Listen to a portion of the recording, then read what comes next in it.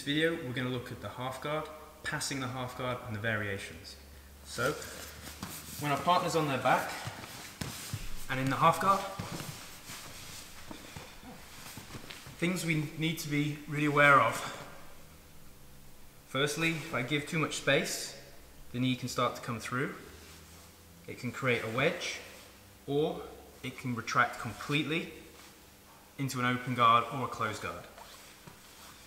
If my partner's on their side, they have more options to come up and attack with underhooks or knee shields.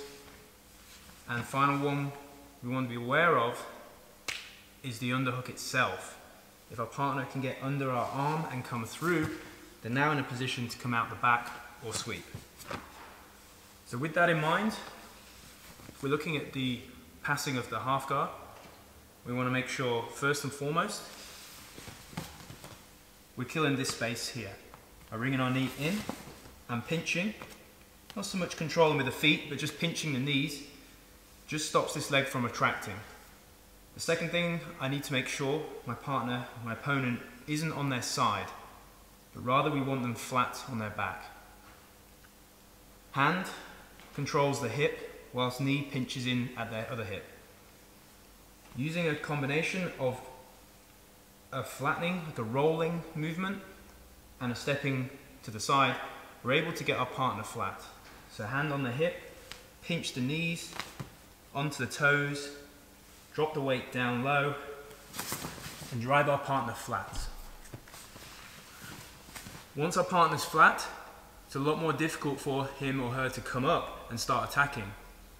So now we have our partner flat, we want to start to get the pass going. In this case, we're going to shut down their underhook. Hand on the hip, dropping the weight down low. The hand here can stay fairly tight. I don't want to give away any elbows. Still maintaining the pinch grip around the hip. In this position, if our partner has space, we can use our hand to drop down and come under the armpit. Alternatively, if our partner is using a form of frame, we can circle into the underhook. So, elbows a bit tighter, we can come under into this gap, and a frame, we can circle as we drop our hips back down. My goal in this pass is to put pressure on the top of my partner and move my legs through. Once I've taken this underhook, I'm going to drive the underhook high. I'm looking to use the top of my head.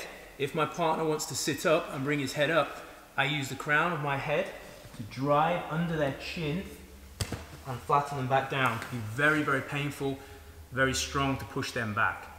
If the head's already down, we can just drive our head straight across the chest into the mat. So underhook, forehead comes down. If our partner brings their head up, we drive until we flatten them down. Very painful for our partner. They want to move their head either side to stop that pushing sensation. In some cases, you could push on the chin, but not on the throat. Once we're here, we're going to drive our head forward and we're going to look to put our forehead onto the mat this side, the opposite side as the underhook. We come to the underhook, drive our head, put the forehead to the mat. What I'm looking to do when my forehead is on the mat is start to bring my hips up into a tripod position, putting all my pressure down through my partner's upper body. See how I can hop with the underhook, head down, pinch my knees, my thighs, and hop my toes up. This hand has two options. Number one, we cup the elbow and we pull it into our chest, into our ribs, chest area. Second option, if you don't like the pinch, you can control the leg for the base, a wider base. Personally, I would suggest you get used to controlling this arm and using the tripod position. One more, please. Underhook, head goes down.